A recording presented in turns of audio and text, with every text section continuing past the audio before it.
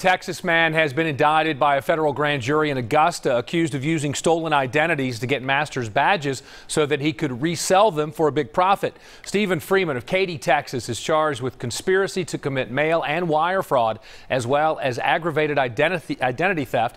Freeman's parents and sister are also charged with conspiracy.